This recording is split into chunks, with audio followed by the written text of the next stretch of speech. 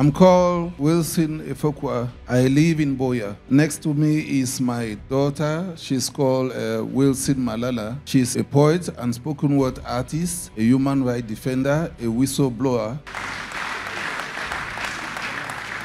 What brought me here today when we were at the Addis Ababa airport with my family, Malala, my wife, and the other one, Luther King, we repatriated from Seychelles Island. So we were at Addis Ababa airport when I saw the man of God. He just passed by, then I greeted him. He asked me where we're going to.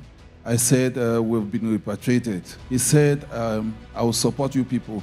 Uh, he passed and we sat on the chair. I talked to my wife. I said, Ah, See that men, they say men of God. I said so because I did not have trust in what he said. But to my greatest surprise, when I was sleeping with my two children on my laps, somebody just touched me. When I got up, I saw an envelope. I opened it, it was $300. So before he left, he touched the head of my daughter, Malala, and said she will be a blessing to the family and the world. Then I realized that on top of that envelope, there was a living water that uh, he left for us. So we came back home. I started using the living water, um, and my life changed. So when we came back home, my wife said we should not eat that money, we should invest it in business. We started a restaurant. It's a small one, but um, everybody is coming. Mola, expand this restaurant. It's too small for us. And when we cook food, uh, before you know it is finished, we have a lot of customers. I think it is because of the blessing of the man of God. Uh, he blessed my daughter, and um, I realized that she was very interested in poetry, watching news. So I developed the spirit in her because the man of God said she is a blessing. So when I realized it, she started following the footprint of that prophecy. When she was eight, she started going into competition. And even with people who are more than her in age, she will come before them. I mean, she will be in the first three positions. Yes, so from then she has been invited to every occasion here and there to TV and radio programs, and um, she's been taking part in competitions. She's still in primary school, but they launched a competition for secondary school. She came third. Yes, um, today she's well known and she's been invited everywhere, and she's a source of finance in the family. Whenever we are poor, we need money to eat. I just look for a situation where she'll go and talk somewhere, and she talks and brings money.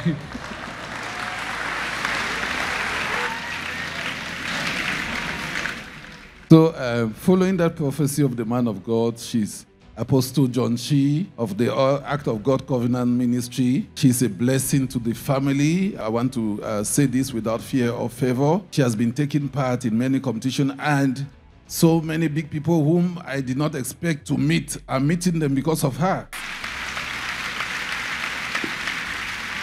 All of these blessings, God did it to me through the man of God, Apostle John Chi, and the living water that he gave us. I want to testify it really changed the life of our family. Whenever we have problem, we just need to administer it, then the problem is over. The first that you can see here is the interview with CRTV Buea when she was invited because of what they heard about her to come and present her poem. The second picture that you see here is uh, during an occasion in Molyko for human rights defenders. I told you people she's a human rights defender so, so she prepared a very good poem uh, during that occasion. The third picture there is with the senator of Buea, Mbella Moki Charles. And the other person beside her is the uh, commissioner for Make Bamenda and Buea Great Again and the, a member of the Bilingualism Commission. And there you see her again being interviewed by so, so many journalists because of her performance. That's how they are always following her with cameras.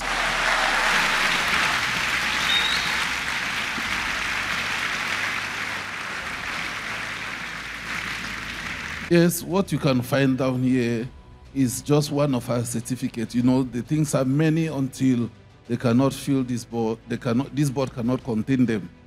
So down here is one of her certificates. When she was eight, she took part in a poetry competition and came third.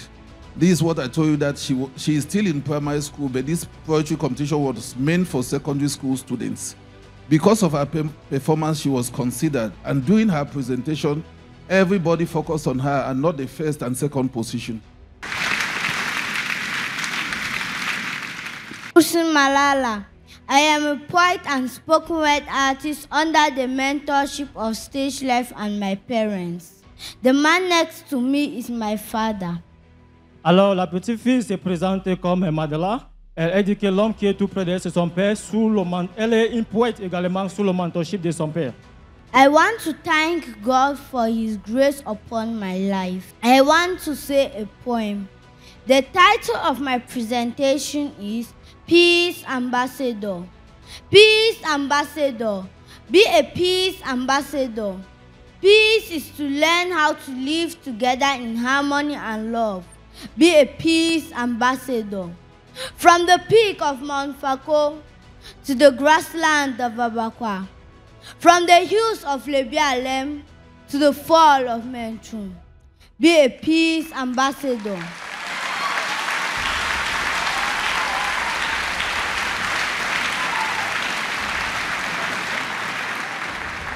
Peace remains a fundamental issue to the restive northwest and southwest regions of Cameroon. Shame on you, you and you. Keep away your ego so that heaven will write your name. Be a peace ambassador.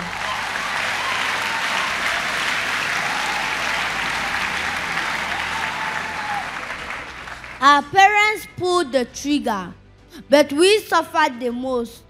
We are at the far front. We are raped, kidnapped, and slaughtered. Be a peace ambassador. Nothing else can destroy youths like war or conflict. Be a peace ambassador. Peace, security, and human rights must be our watchword. If we have peace, we can enjoy freedom, developments, and democracy. Be a peace ambassador.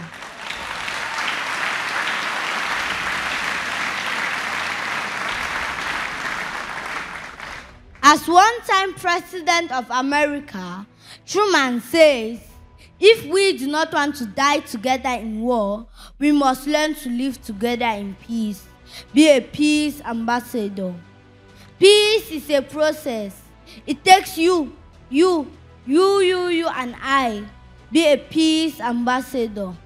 This message is in support of all institutions clamoring for peace and justice to reign in the restive northwest and southwest regions of Cameroon and the world at large. Be a peace ambassador.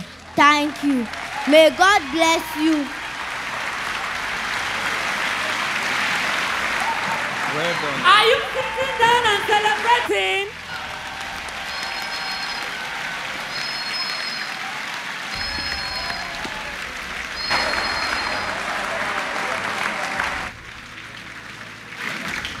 My advice to other little ones out there is that they should start to speaking out for peace so that God Almighty will bless them.